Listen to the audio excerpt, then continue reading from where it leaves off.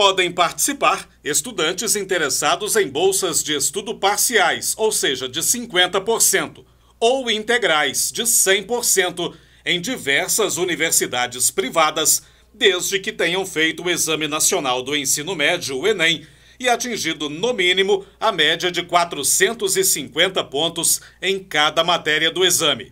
Além disso, o estudante não pode ter zerado a prova de redação e nem ter participado como treineiro.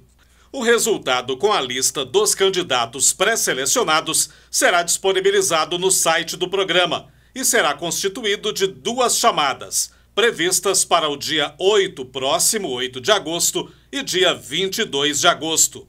Uma das novidades desta edição é que a inscrição deverá ser feita por tipo de modalidade de concorrência, que são ampla concorrência e ações afirmativas.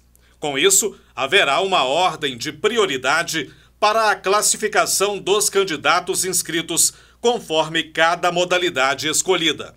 Outra mudança é a ampliação dos critérios de origem escolar do estudante que deseja disputar as bolsas do ProUni. A classificação levará em conta a modalidade de concorrência escolhida pelo estudante em sua inscrição por curso, turno, local de oferta, instituição e, dentro de cada modalidade, deverá ser obedecida a ordem decrescente das notas do Enem.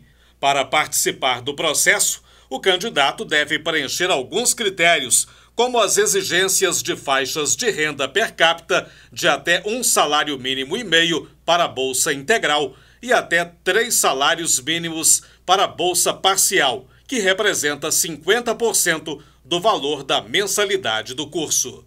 Repórter Júlio Oliveira.